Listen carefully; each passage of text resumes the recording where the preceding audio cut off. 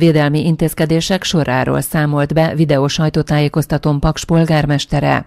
Két paksi oktatási intézmény több osztályában tantermen kívüli digitális oktatást rendelt el az oktatási hivatal.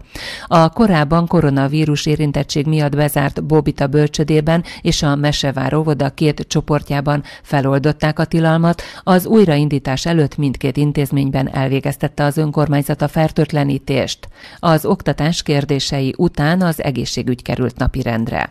Az egészségügyben és a szociális szférában dolgozók számára a Magyarország kormánya biztosította az ingyenes utazást, mind a volán menetrend szerinti járatain, mint pedig a MÁV menetrend szerinti járatain. A nagy elővigyázatosság ellenére a Paksi Gyógyászati Központot is elérte a járvány, négy szakrendelést le kell állítani az intézményben.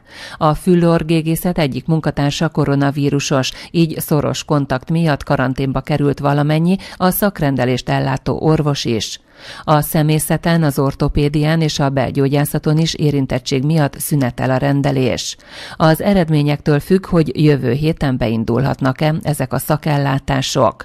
Az egészségügyben dolgozókat szigorúbb kritériumok alapján engedik vissza a munka tájékoztatott a főigazgató. Ilyen esetben az egészségügy dolgozó ha felmentést is kap a karantén alól, az egészségügyben csak akkor jöhet vissza dolgozni, hogyha lejárt a tíz napja, a tizedik napon felszabadító ö, vizsgálata van, PCR vizsgálata van, és minimum három napja tünetmentes volt előtte. Az egynapos sebészet sem működött egy hétig, de ez nem is indulhat újra. Központi döntés miatt a koronavírusos esetek ellátásának biztosítása érdekében ugyanis leállították a halasztható műtétek mellett országosan az egynapos sebészeteket is.